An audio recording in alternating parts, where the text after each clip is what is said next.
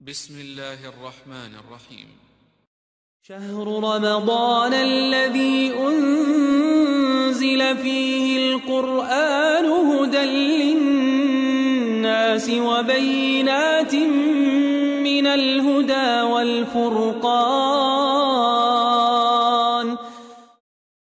ওয়ালাইকুম আসসালাম রহমতুল্লাহ বারাকাত মোহাম্মদ সোহেল ভাই মালয়েশিয়ার কুয়ালালামপুর থেকে জানতে চেয়েছেন তকবির ব্যাপারে জি ভাই, যেদিন কোরবানির চাঁদ উঠবে, সেদিন থেকে নিয়ে আপনি কোরবানির তিন দিন পর্যন্ত, অর্থাৎ তেরো তারিখের আসর পর্যন্ত আপনি তকবির পাঠ করবেন।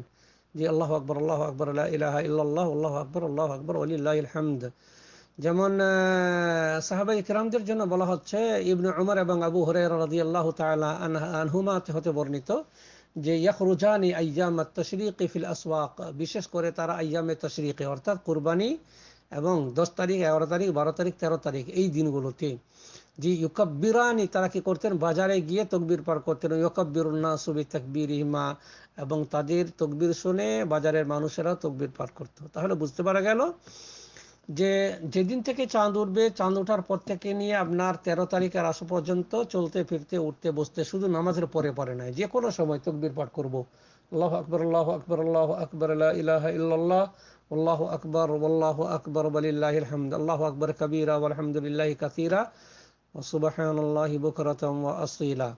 আর বিশেষ করে যে আরাফার দিন থেকে, অর্থাৎ নয় তারিখ থেকে নিয়ে তেরো তারিখের আসর পর্যন্ত, জি, একটু বেশি বেশি করতে হবে। নয় তারিখ থেকে নিয়ে পর্যন্ত। যেমন ফতেহা বলা হচ্ছে যে অফি শাহরি জিল হিজ্জা মিন আউ্বালি শাহর জিল হিজ্জা মাসের প্রথম তারিখ থেকে নিয়ে যে তেরো তারিখের সূর্য ডোপা পর্যন্ত, তেরো তারিখ আসর বা সূর্য ডোপা পর্যন্ত, জি। এই দিনগুলোতে সব তকবির পড়তে হবে। সকাল, বিকেল, দুপুর, রাত্রি বলে কিছু না। লাকিন নাফিল খামসাতে আল্লাহ আছে কিন্তু বিশেষ করে পাঁচ দিন, অর্থাৎ নয় তারিখ, দশ তারিখ, এগারো তারিখ, বারো তারিখ এবং তেরো তারিখ, এই পাঁচ দিন জি ইজতামি ওফি হাত তাকবির রান আল মুতলাক আল মুকাইদ জি তার মানে আপনার এই পাঁচ তারিখে আপনি মুতলাক বলতে সাধারণ তকবির এবং বিশেষ করে আল্লাহ আকবর আল্লাহ আকবর আল্লাহ ইলাহ ইল্লাল্লাহ, আল্লাহ আকবর আল্লাহ আকবর হামদ কিন্তু প্রত্যেক পাঁচ অক্টা নামাজের পরে জোরে জোরে একবার, দুবার, তিনবার পড়তে হবে, এগুলা কিন্তু না, সহি সুন্না নয়।